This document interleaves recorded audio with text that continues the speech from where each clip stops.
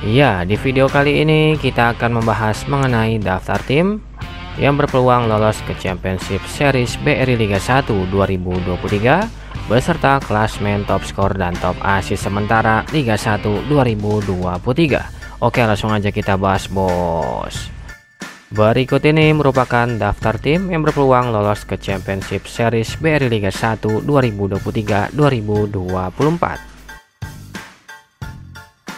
Oke, yang pertama ada Borneo FC.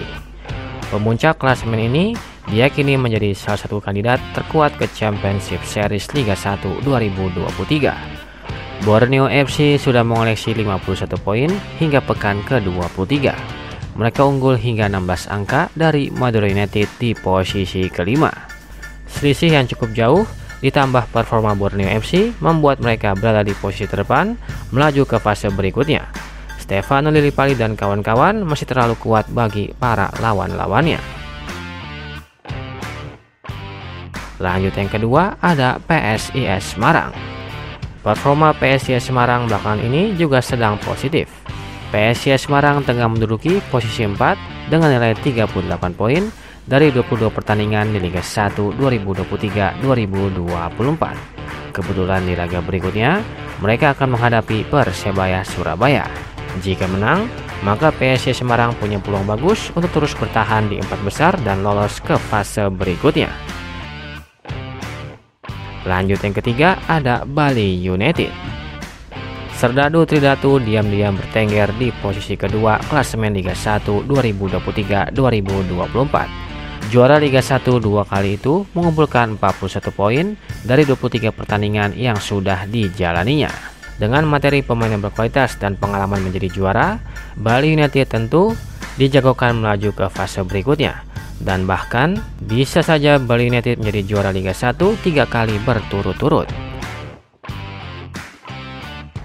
Dan yang keempat ada Persib Bandung. Rentetan 14 kali tanpa terkalahkan boleh saja berakhir pada Minggu 10 Desember 2023 yang lalu. Namun, Persib Bandung masih berada di jalur yang benar untuk memasuki Championship Series. Anak asuh Bojan Hodak duduk di posisi 3 klasmen Liga 1 2023-2024 dengan nilai 40 poin. Materi pemain ditambah pengalaman sang pelatih juara di Malaysia menjadi modal berharga bagi Persib Bandung. Patut dinantikan apakah prediksi ini akan menjadi kenyataan atau tidak. Menurut kalian siapa yang akan menjadi juara di Liga 1 2023-2024? Silahkan kasih komentar kalian di kolom komentar. Berikut ini merupakan bagan Championship Series BRI Liga 1 Indonesia 2023-2024. Empat tim teratas akan kembali diadu lewat sistem knockout. Posisi satu akan diadu dengan posisi keempat dan posisi kedua akan melawan posisi ketiga. Posisi 1 dan 2 dalam klasemen akan berhak menjadi tuan rumahnya. Pemenang knockout Liga Indonesia akan melaju ke partai final yang akan digelar di Stadion Utama Gelora Bung Karno di Jakarta.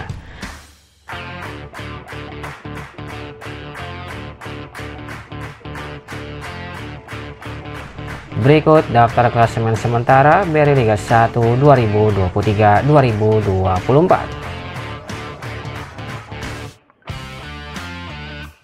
Di peringkat pertama ada Borneo FC dengan torehan 51 poin. Di peringkat kedua ada Bali United dengan torehan 41 poin. Di peringkat ketiga ada Persib Bandung dengan torehan 40 poin. Di peringkat keempat ada PSIS Semarang dengan torehan 38 poin. Di peringkat kelima ada Madura United dengan torehan 35 poin. Selanjutnya ada Persik Kediri dengan torehan 34 poin. Ranu Sentara FC dengan torehan 32 poin. Barito Putra dengan torehan 32 poin dan ada Persija Jakarta dengan torehan 32 poin.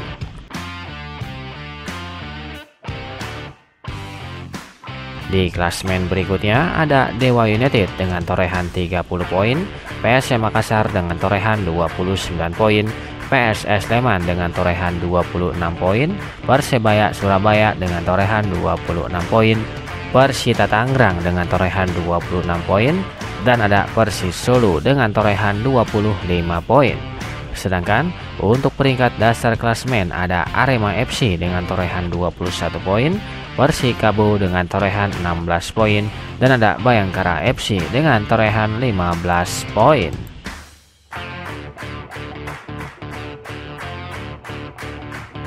Berikut daftar top skor sementara BRI Liga 1 2023-2024.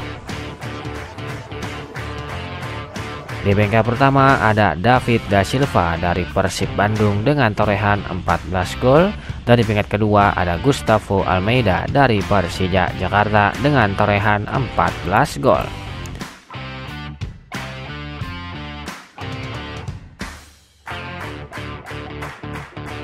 Berikut daftar top asis sementara Beri Liga 1 2023-2024. Di bengkel pertama ada Stefano Lillipali dari Borneo FC dengan torehan 11 asis dan di bengkel kedua ada Alexis Mesidoro dari Persis Solo dengan torehan 9 asis.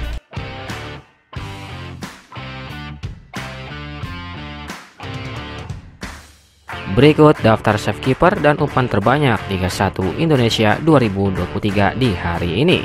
Untuk save terbanyak masih dipimpin oleh Sonny Stephens dari Dewa United dengan torehan 94 kali save. Sedangkan untuk umpan terbanyak masih dipimpin oleh Cleberson dari Madura United dengan torehan 978 kali passing.